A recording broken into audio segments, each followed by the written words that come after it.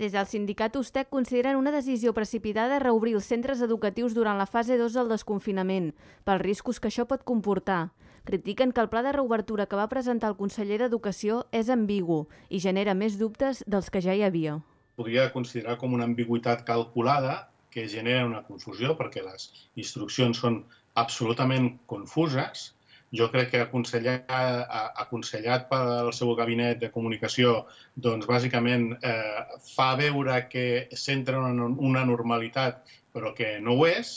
que a més doncs, anuncia tota una sèrie de coses sense massa concrecions per tal de que després, quan diguem, no es compleixin les coses, diguem, pugui tenir uns certs descàrrecs,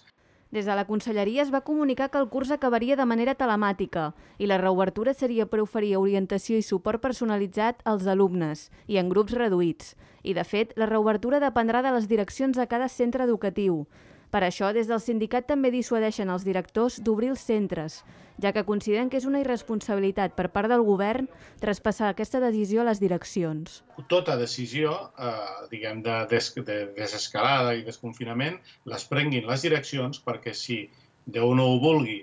eh, entrem, hi ha una fase de rebrots i algú acaba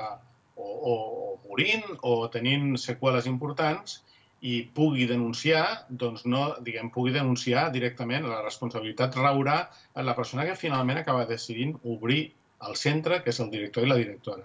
Jo entenc que s'expulsen les responsabilitats de sobre. De cares al setembre també es plantegen noves mesures organitzatives i higièniques per la tornada a un curs presencial i això suposarà un reforç de plantilla i espais. Tot i així, des del sindicat lamenten que no s'hagi presentat cap reforç de mestres per la Covid-19. I damunt de la taula només existien 800 professors més sobre una plantilla de 90.000 i que sobretot estava destinada a cobrir eh,